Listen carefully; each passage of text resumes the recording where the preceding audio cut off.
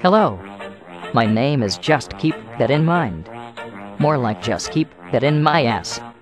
Which is what I tell my boyfriend Bruno each night. LOL. What is up with Tony Danza? Why isn't he as sexy as Richard Simmons? Fuck Richard Simmons. No, really, I want to fuck him. His twinkly cod pieces are so sexy, but not as sexy as my grandmother's underwear. I wear those so I can piss my pants instead of walking all the way to the bathroom, because I'm a fat lazy fuck. Speaking of fat lazy fucks, how about that Chadite one? Chadite one is fat, and I love him. Oh wait, he's not fat, he's buff. He is so buff and sexy that I must make a video where I pretend that I'm him. No, wait. That isn't creepy at all. Please do not unsubscribe.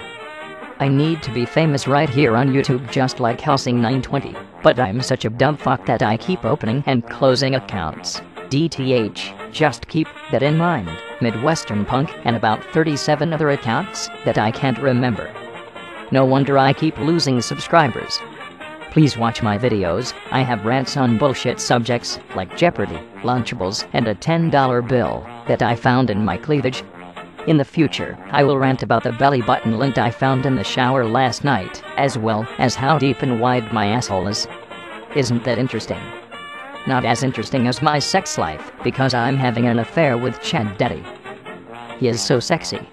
He can cross my border any day. Please don't tell Bruno. He would fuck me up if he found out. Fuck me up the ass. Oh yeah. Oh baby. That feels good. Harder. Yes. Yes. Well, I have to go. I just found some dog shit on my porch, and I need to go prepare a rant video about it for YouTube, because I heard people like to watch shit videos. Her her her. Get it?